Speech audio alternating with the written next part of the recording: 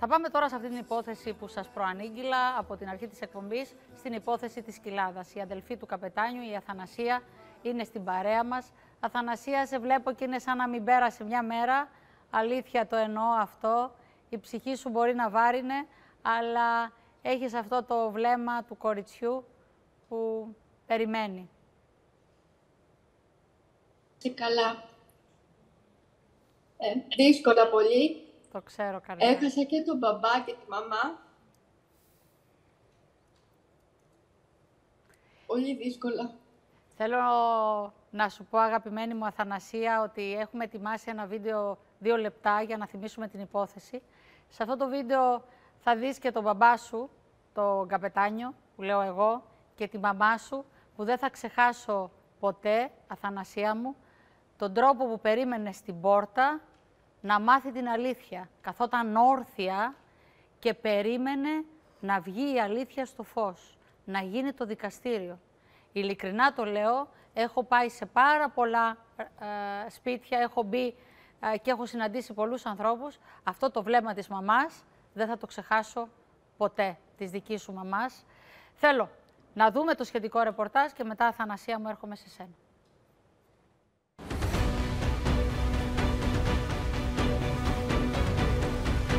8 Δεκεμβρίου 2014. Ο θυελώδης γάμος που βάφτηκε με αίμα στην Κοιλάδα. Η δολοφονία του 42χρονου καπετάνιου από τη σύζυγό του που κάποιοι αποκαλούν μαύρη χείρα της Αργολίτας.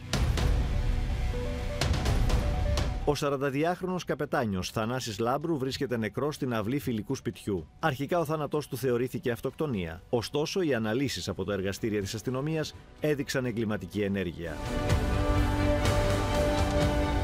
Ρε παιδί μου, τι ήταν, πώς ήταν, τι έγινε εκεί πέρα. Δεν ήταν τίποτε καλά, δεν ήταν τίποτε καλά. Μου έλεγε. Πέρασε ο καιρός, από εκεί μαθαίναμε από τον ένα και από τον άλλον. Ρε τι ψάχετε το δολοφόνο, ο δολοφόνος είναι στο σπίτι σας, μας λέγανε οι συγγενείς. Όλοι ξέρανε και δεν μας έλεγε κανείς τίποτα.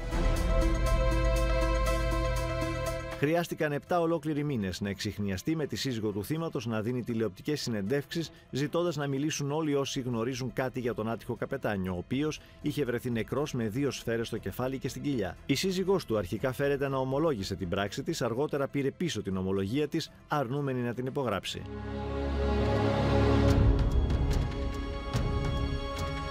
Το πρωτόδικο δικαστήριο αλλά και το εφετείο την έκριναν ομόφωνα ένοχη για ανθρωποκτονία από πρόθεση και την καταδίκασαν σε ισόβια και ποινή φυλάκισης 18 μηνών για παράνομη οπλοφορία και οπλοχρησία. Το παιδί το έχασα, τζάμπα, όλα. Πάω στη δουλειά και ξεχνά, ξεχνιέμαι λιγάκι. Αλλιώς, μέρα νύχτα τον εσκέπτομαι.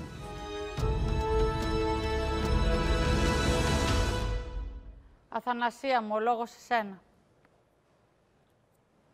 Ναι, Ζήνα. Ε, είχαμε τις αποφάσεις των δικαστηρίων και πρωτόδικα και το εφε... εφετείο. Άριο Πάγο πήγαμε μαζί με τον μπαμπά και μετά από δύο μήνες πέθανε. Ε, πήγαμε και στον Άριο Πάγο. Ε, είναι μέσα, φυλακή. Ισχυρίζεται, ε, ισχυρίζεται βέβαια μέσω των δικηγόρων της, του κυρίου Στεφανάκη και του κυρίου Γκαβέλα, ότι είναι αθώα, έτσι, ότι δεν έχει διαπράξει τίποτα. Έχουμε τα, το DNA, έχουμε αποτυπώματα ε, και η δεύτερη σφαίρα είναι δολοφονία. Τον δολοφόνησε, ψυχρό δολοφονία. Να έχουμε σε... αυτές τις αποφάσεις. Αθανασία, έχουν περάσει τα χρόνια. Είδες ότι ο μπαμπάς σου, θυμάσαι τι μου έλεγε, ότι θα πεθάνω εφόσον ολοκληρωθούν όλα. Και γι' αυτό το επιμένει η Αθανασία και το λέει τώρα και δημόσια μου το έχει πει και υπάρχει καταγεγραμμένο ότι δύο μήνες μετά τον Άριο Πάγο φεύγει και από τη ζωή ο πατέρας του καπετάνιου. Είναι συγκλονιστικό. Είναι μια υπόθεση που ε, τότε η μαύρη χείρα της Κοιλάδας έτσι είχε γράψει η ιστορία, η τηλεοπτική, είχε βγει στην Αγγελική Νικολούλη και αναζητούσε τον άντρα της, έτσι, για να το πούμε. Έτσι δεν είναι, Αθανασία μου; Ναι, ναι ε, 7 μήνες, μετά από 7 μήνες. Ενώ ομολόγησε, ε, είχαμε τον καλύτερο εισαγγελέα, ομολόγησε, αλλά δεν υπόγραψε. Δεν έβαλε υπογραφή. Το πήρε πίσω. Αλλά βγήκαν τα αποτελέσματα μετά DNA Ε, ο τρόπος όλος που χειριζόταν την υπόθεση ήταν όλα θέατρο. Ε, καταλάβαμε και εγώ της έλεγα ότι ε, ο αδερφός μου μόνο για σένα θα πήγαινε εκεί. Μόνο για σένα θα, έκανε, θα πήγαινε σπίτι μόνος του να σε ψάξει. Ε, όλα αυτά, όλα αυτά. Ε, πάντως Τα η- DNA, αποτυπώματα.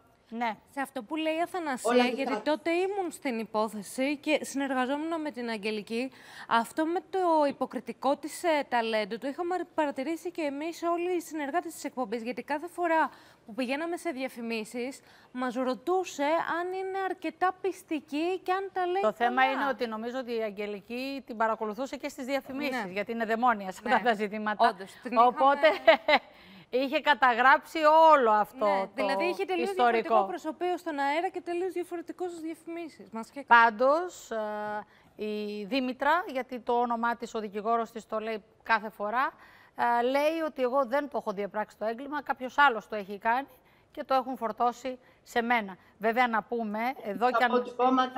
αποτυπώματα Εδώ και αν μιλάμε για παραλήψεις της αστυνο- αστυνομίας, κύριε Ροδουσάκη, γιατί έχω πάει και έχω δει, ε, το σημείο δεν μπήκε κορδέλα όπου έγινε ο φόνος, ξέρετε αυτή η κορδέλα από αυτό, καθαρίστηκε κιόλας με χλωρίνες από τον ιδιοκτήτη. Δεν πρόλαβαν δηλαδή καν να ανακαλύψουν τα στοιχεία του εγκλήματος. Βέβαια, εδώ Είναι για ένα εγκληματική η διάστημα... παράληψη αυτή ναι, τώρα, ναι, έτσι. δεν είναι, Καταστροφή είναι των μικρή στοιχείων. παράληψη, έτσι. Ω, μικρή. Εγκληματική. Ναι, το ξέρω. Εγώ το λέω μικρή, Ναι, γιατί ναι. είναι πολύ σοβαρό το ζήτημα.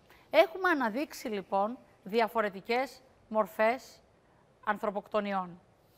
Θέλω να μου πείτε, κύριε Σακά, αν πρέπει να βάλετε τρία bullets για τη σημερινή κουβέντα. Ποια είναι αυτά που πρέπει να συζητήσουμε τηλεοπτικά, ώστε ο άνθρωπος που μας παρακολουθεί να καταλάβει τι μπορεί να συμβαίνει. Τρία bullets. Ε, πρώτον, ο- αυτό που είπαμε ότι είμαστε σε μια μεταβατική κοινωνία και πλέον έχει αλλάξει ο ρόλος ανδρών και γυναικών και πρέπει να το ξέρουμε αυτό. Αν η γυναίκα αυτή που έχει καταδικαστεί μέχρι τον Άριο Πάγο είναι δολοφόνος, Ναι. τι μπορεί να έχει συμβεί σε αυτή τη γυναίκα; Αυτή η γυναίκα νομίζει ότι και αυτή μπορεί να πάρει, ε, να κάνει ό,τι θέλει. Παίρνει ένα πιστόλι. Πιστόλι. Πού το βρήκε; Έλαντε. Έλατε. Λοιπόν, ε, βλέπετε ότι έχει πάρει υπερβολικό θάρρος και νομίζει ότι μπορεί να κάνει τη ζωή της όπως αυτή νομίζει. Σκοτώνοντας, κληρονομώντας, ξέρω εγώ τι. τι. Ξέρω εγώ. Αθανασία, πού το βρήκε το πιστόλι, στο σπίτι ποιο σπίτι, του φίλου του αδερφού μου. έτσι, μπράβο. Όπου και έγινε το έγκλημα. Ναι. Και εξαφανίστηκαν τα πάντα από DNA. Μπράβο, Γιατί μπράβο. καθαρίστηκαν με χλωρίνη. Τι να κάνουμε, αυτό είναι. Άρα λοιπόν, ποιο άλλο είναι σημαντικό στοιχείο; Το δεύτερο που το έχουμε ξαναπεί είναι η ευκολία που μπορεί κανένας να βρει ένα όπλο. Ε, Δηλαδή, το, ξέρουμε ότι το όπλο του εγκλήματος, η διαθεσιμότητά του παίζει πολύ μεγάλο ρόλο. Στις Ηνωμένες Πολιτείες το ξέρουμε, γίνονται πάρα πολλά εγκλήματα γιατί ο καθένας έχει από ένα πυροβόλο όπλο, ε, ένα πιστόλι στο ντουλαπάκι του αυτοκινήτου. Πώς τα ή- παιδάκια ή στο έχουν τα κο- κουζινικά; Ή στο κομμωδίνο του. Ναι, μπράβο. Έτσι. Και ένας τρίτος παράγοντας; Και ένας τρίτος παράγοντας είναι αυτό που είχε πει στην αρχή, ότι η πίεση που είχαμε και με την, εγώ βάζω και την κρίση την οικονομική, έχει ανακατέψει πάρα πολύ του, του- την ψυχολογία των ανθρώπων.